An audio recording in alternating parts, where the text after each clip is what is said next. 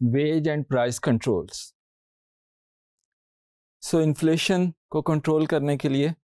आज हम बात करेंगे कि वेज एंड प्राइस कंट्रोल यानी एडमिनिस्ट्रेटिव मेयर से किस तरह से इन्फ्लेशन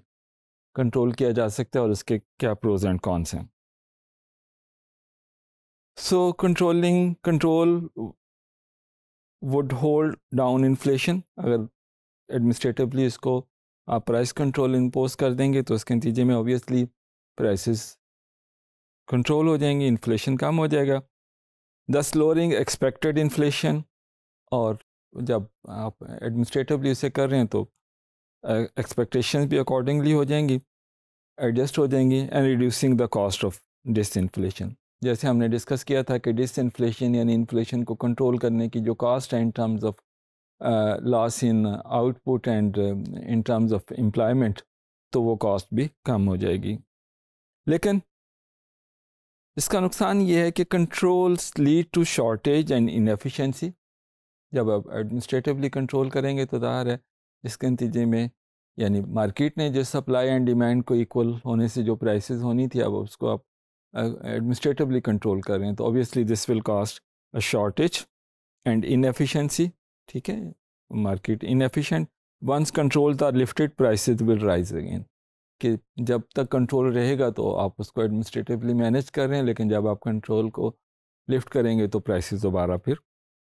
राइज कर देंगे। So the outcome of wage and price controls may depend on what happens with the physical and monetary policy ये बहुत इंपॉर्टेंट पॉइंट है कि गवर्नमेंट ने प्राइस कंट्रोल कुछ इम्पोज कर दिया, लेकिन गवर्नमेंट की मॉनेटरी और फ़िज़िकल पॉलिसी जो है, वो अगर चेंज नहीं होती, वो एक्सपेंशनरी रहती है। गवर्नमेंट उसी तरह खर्च करती रहती है तो obviously people will expect renewed inflation when the control are lifted कि गवर्नमेंट के अगर अखराज कम नहीं होते और इसी तरह से बाकी चीज़ें चेंज नहीं होती तो फिर लोग डेफिनेटली वो समझ जाएँगे कि जब तक ये कंट्रोल है एडमिनिस्ट्रेटिवली उस वक्त तक तो ये चीज़ें लिमिट्स में हैं। जैसे ही कंट्रोल को लिफ्ट किया जाएगा तो प्राइसेस फिर शूट अप कर जाएँगे। So if tight policies are pursuit लेकिन अगर प्राइस कंट्रोल के साथ गवर्नमेंट ख़ुद अपने ऊपर भी आ, कुछ लिमिटेशंस लगाती हैं और अपने स्पेंडिंग को कंट्रोल करती है और मॉनेटरी और फ़िज़िकल पॉलिसी को टाइट करती है तो देन ऑब्वियसली एक्सपेक्टेड इन्फ्लेशन में डिक्लाइन के लोग उसको समझें कि ये अब हकीकत में लॉन्ग रन में इसी तरह चलता रहेगा। सो अमेरिकन गवर्नमेंट की अगेन एग्जांपल है निक्सन वेज प्राइस कंट्रोल उन्होंने अगस्त 1971 से 74 अप्रैल तक उन्होंने इम्पोज किए थे। उसके नतीजे में शॉर्टेज पैदा होगी बहुत सारी चीज़ों की। The control reduced inflation when they were in effect जब तक वो कंट्रोल इम्पोज थे तो प्राइसेस लिमिट्स में थी कंट्रोल में थी but prices return to where they would have been soon after the control were lifted लेकिन जब उन्होंने कंट्रोल ख़त्म किए तो प्राइसेस वहाँ पहुँच गई जहाँ पहली रूटीन के मुताबिक उन्होंने जाना था। सो so, इसमें इंपॉर्टेंट फिर क्या है? क्रेडिबिलिटी एंड रेपुटेशन बहुत इंपॉर्टेंट है। की determinant of the cost of disinflation ये है कि how quickly expected inflation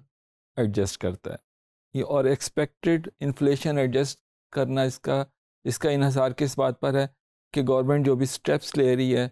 तो वो कितने क्रेडिबल है गवर्नमेंट की रिप्यूट क्या है? This depends on credibility of disinflation policy if people believe the government and if the government carries through with its policy expected inflation should drop rapidly कि government जो steps लेती है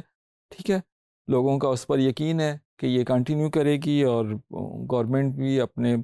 जो policies है उसको कैरी करती हैं तो इसके नतीजे में फिर लोग अपने एक्सपेक्टेशन को रिवाइज कर लेंगे उसकी कॉस्ट कम हो जाएगी credibility can be enhanced if the government gets a reputation for carrying out its promise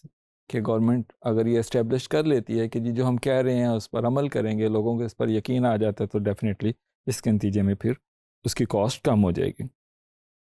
Also having a strong and independent central bank that is committed to low inflation provides credibility